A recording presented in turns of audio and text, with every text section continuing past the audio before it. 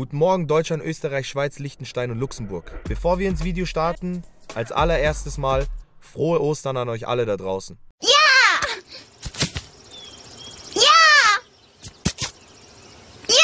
Ich hoffe, ihr wurdet gut beschert oder ich glaube, man sucht ein bisschen Süßigkeiten im Garten und sowas. Oder sucht man Süßigkeiten im Garten?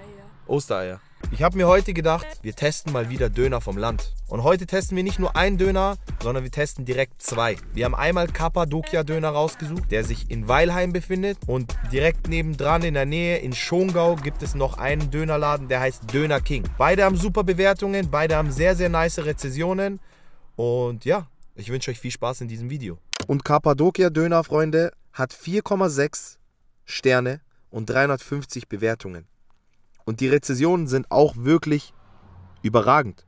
Der Döner ist definitiv super und der Chef witzig. Man kann dort auch gut sitzen. Nur manchmal läuft die ganze Zeit SpongeBob, das nervt. Aber 5 Sterne gibt's für den Döner. Und mit diesem Döner beginnen wir jetzt die Reise nach Weilheim. I belong, I belong to you. Do just what you want.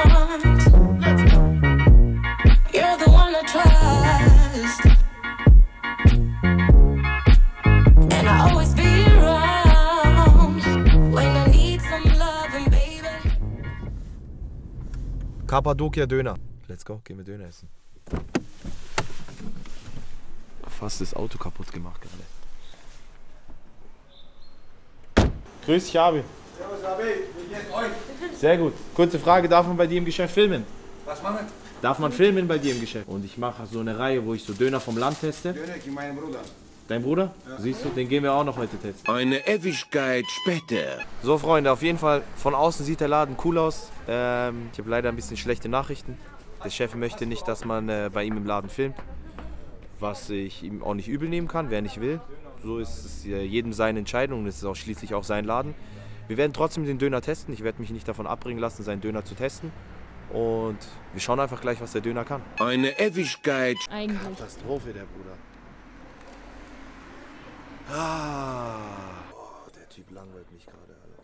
Ich mache wieder aus, oder? Bis du überlegt hast. Ähm, ich habe drin gefragt, ob ich Döner oder ob ich drin filmen darf, wie er vielleicht den Döner macht, dies, das. Er hat gemeint, nein, auf keinen Fall, blablabla. Alles gut, ich habe trotzdem einen Döner bestellt, wollte dann draußen den Döner essen. Dann hat er extra nochmal sein Fenster aufgemacht, um mich wegzuschicken, dass ich draußen nicht esse und ihn auch nicht abfilmen darf und nichts dazu sagen darf und so. Weilheim ist trotzdem wunderschön, muss ich sagen. Ruhig.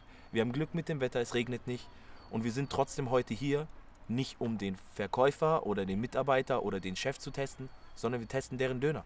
Ganz einfach. Und jetzt kommen wir zum Döner. Ich muss ehrlich sagen, das Brot sieht nice aus. Fleisch, Salat, Blaukraut sehe ich, Tomaten, zwei Maiskörner, ähm, ein bisschen Paprika und dann wieder oben schön Fleisch drauf. Ich habe extra ohne Soße genommen, weil er hat mich gefragt, als der Döner fertig war, so wie er jetzt ist, ob ich Soße möchte. Und dann weiß ich genau, was passiert. Dann kommt die Soße halt einfach nur noch oben drüber und dann hast du sie komplett im Gesicht. Meiner Meinung nach sollte die Soße im Brot als allererstes verteilt werden.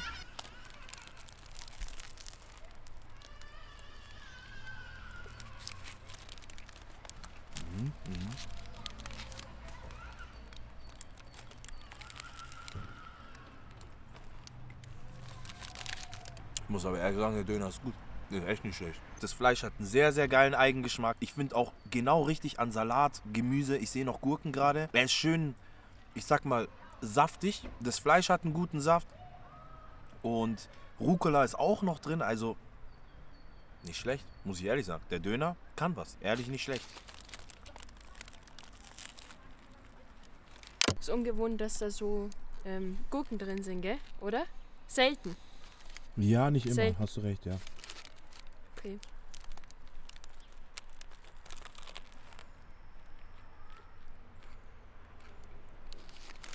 Also ich finde, es schmeckt sehr gut. Und mir schmeckt vor allem das äh, Brot. Also man merkt, dass es selber gemacht ist. Ist. ähm, Ich bin mir zu 100% si äh, sicher, dass das selbst gemacht ist. Für mich ist es ganz wenig zu hart. Äh, ganz leicht zu hart, weil man sich wehtut. Auch ohne äh, Soße richtig saftig, so wie Randy gemeint hat.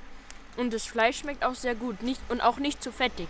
Das Brot ist, wenn man es hart nimmt, ein bisschen zu crunchy. Aber es kann schon sein, dass du dich so im Gaumen verletzt.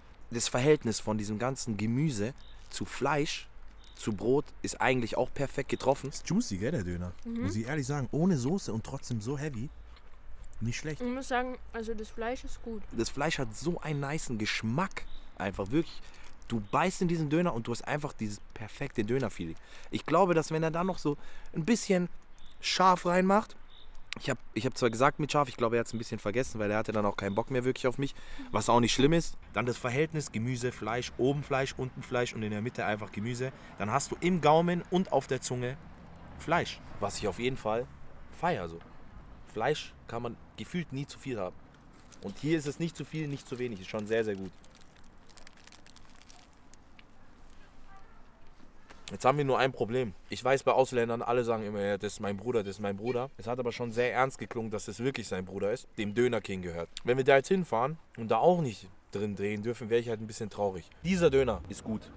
Punkt, Ende aus. Das ist das Wort zu Kappadokia in Weilheim. Paprika drin, was ich jetzt unnötig finde, aber das ist auch das einzige, ja, der einzige Minuspunkt bei mir wäre, dass Paprika drin ist. Feiere ich nicht. Aber ansonsten, guter Döner.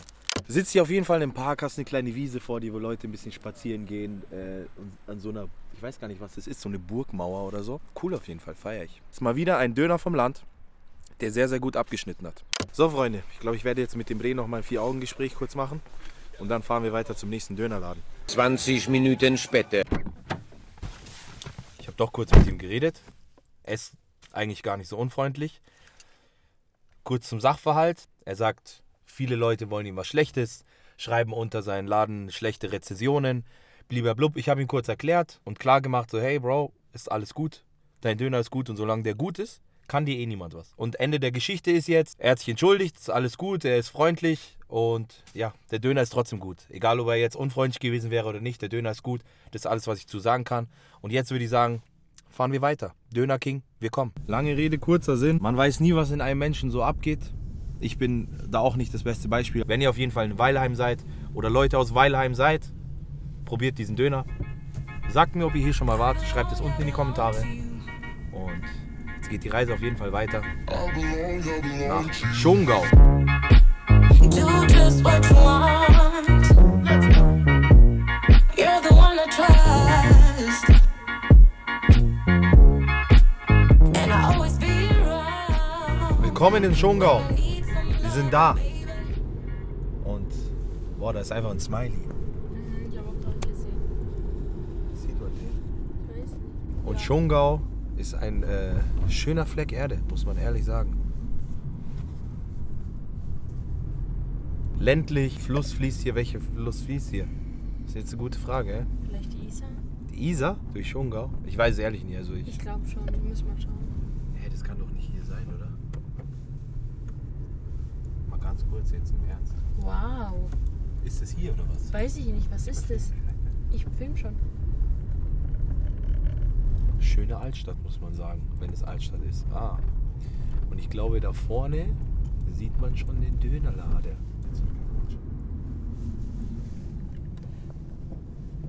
Döner King. Bevor wir natürlich aussteigen, ich zeige euch trotzdem ganz kurz den Loader. Die bayerischen Leute würden sagen Schongau. Döner King Schongau. Aus Schongau. Das ist der beste Döner aus Schongau. 4,7 Sterne, Freunde. 458 Bewertungen. Sehr guter Döner. Der Dönerteller interessiert uns nicht. Man wird immer sehr nett und lustig begrüßt. Das Brot wird täglich frisch gebacken.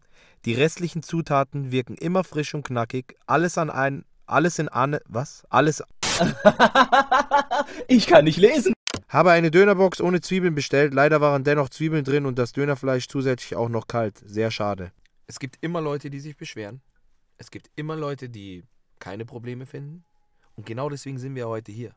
Ist der Döner gut oder ist er schlecht? Hat ein Döner vom heutigen Video die Chance, der beste Döner vom Land zu werden?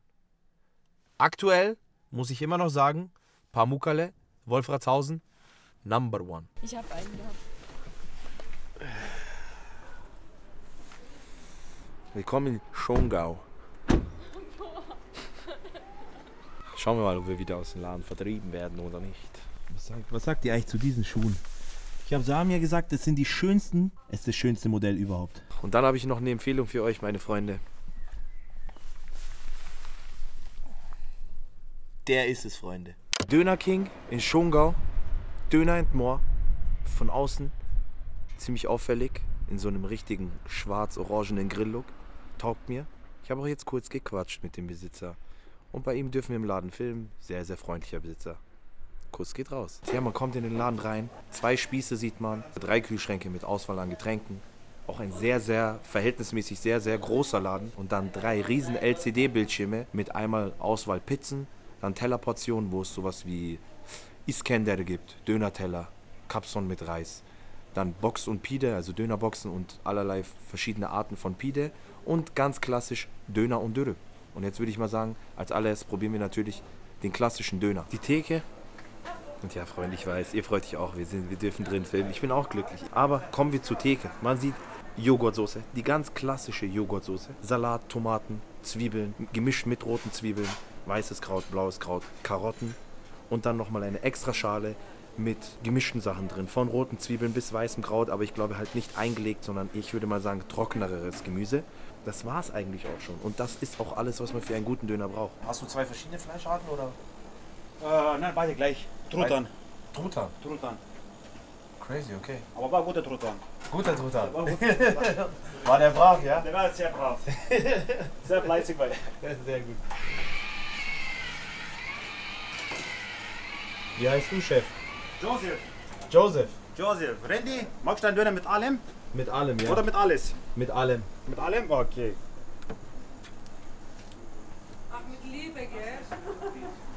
Magst du auch scharf? Randy. Ja, ein bisschen.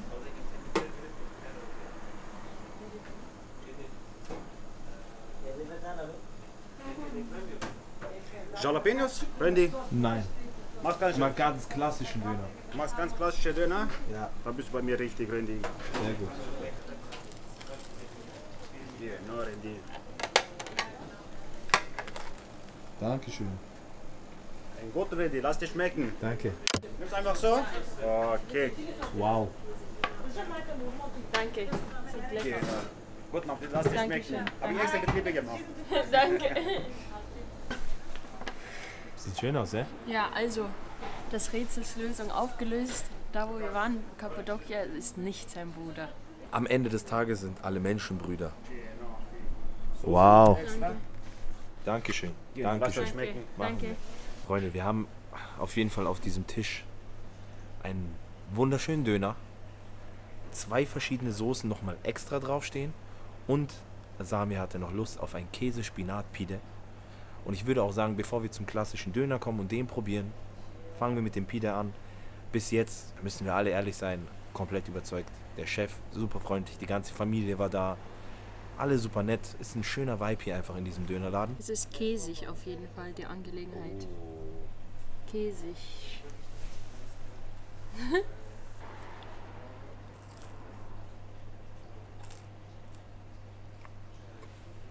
mhm. Man sieht, es ist bis hier hinten mit Käse gefüllt. Also ist cool gemacht. Es ist nicht nur, wo man den Käse sieht, sondern auch tatsächlich im Rand. Du klappst immer beim Pide, wie du gestern beim, Ah, beim okay. Apfelstrudel klappst du immer rum. Ist Ah, immer bei okay. Pide so, sonst ist Okay. kein gutes Pide.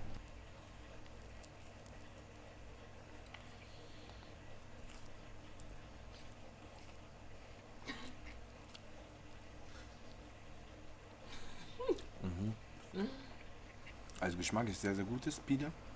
Ich weiß aber, was du meinst. Ist auf jeden Fall gefrorenes Pide gewesen, ja. Aber schmeckt super. Schmeckt super. Aber wir kommen jetzt zum wirklichen Geschehen. Warum sind wir hier? Wegen dem Döner. Ihr habt es gesehen. Ich bestelle immer klassischen Döner mit allem. Diesmal haben wir auch ein bisschen Soße drin. Die Soße ist zwar trotzdem nicht ins Brot geschmiert. Sie befindet sich zwischen, zwischen äh, Fleisch, Salat, Soße und dann ist nochmal Fleisch drauf. Ich würde auch sagen, wir machen jetzt gar nicht so viel Tamtam um das Ganze, sondern wir probieren einfach ein Hähnchen-Truthahn-Döner. Guten Appetit.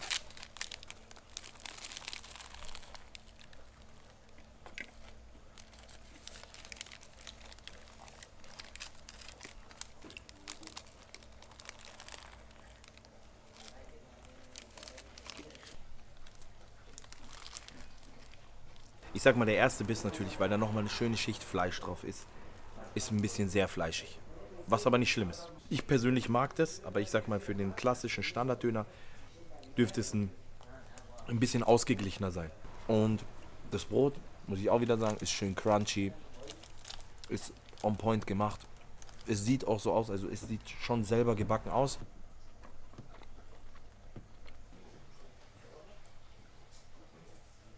Und was ich auch feiere bei dem Laden hier ist, die haben eine coole Auswahl an Getränken. Ich habe hier Lemon Elderflower, Fanta. Und Sami hat Mango Dragon Fruit. Lemon Elderflower, also Elderflower ist Holunder Fanta. Ich habe die schon mal probiert, aber nur im Ausland. In Deutschland habe ich die noch nie getrunken. Endgegner. Wie ist deine? Lecker. Brauchst nicht so trinken, als wäre es ein Werbespot. Komisch. Koriander haben wir auch im Döner, hat Sami gerade gesagt. Ich bin der Schlimmste, was diese Frau heute angeht. gell? Ich sage immer Basilikum zu Koriander. zu Koriander sage ich. Ja, umgekehrt. Ich sage immer falsch, aber egal. Ihr wisst, was ich meine am Ende des Tages. Also der dickste Kuss geht raus. Ich finde eigentlich, der Grundgeschmack des Döners sitzt, aber irgendwas passt mir nicht. Ich weiß nicht was. Danke dir. Also, Bis zum Randy, nächsten man Mal. sieht sich. Ja, danke. Laura war das, gell? Samia. Sabi. Er kann sich keine Namen merken, das weiß ich schon mal. ciao, Ben. Übrigens sehr schlecht. Ciao, ciao. Viel Spaß noch. Danke. Abschließendes Fazit zu dem zweiten Döner oder sagen wir zu dem kompletten Video von heute und überhaupt zu Döner vom Land. Ihr habt gesehen, Döner vom Land kann was. Döner vom Land heißt nicht immer, oh, schlechtere Qualität, schlechtere Zutaten oder weiß was ich, nicht frisches, nicht frisch gebackenes Brot. Was ich aber heute sagen kann ist, Gewinner von heute, und den muss man klar definieren, Kappadokia in Weilheim. Meine persönliche Meinung, ich sage euch auch immer in meinen Videos meine persönliche Meinung, ich hätte es ihm mehr gegönnt, weil er einfach der coolere und freundlicher ist. Trotzdem war der Döner bei Kappadokia besser. Warum? Er war einfach, wenn ich es in zwei Worten sagen kann, in drei Worten, er war saftiger. Mir hat die Saftigkeit bei diesem Döner ein bisschen gefehlt. Kommt hierher, probiert ihn selbst, schreibt mir unten in die Kommentare, was ihr davon haltet. Ansonsten Kuss geht raus.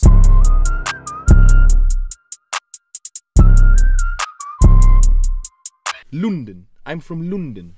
Where you from? Oh, Are you from London or from West Birmingham? hör dein, From dein Atem Birmingham. riecht nach Zwiebeln.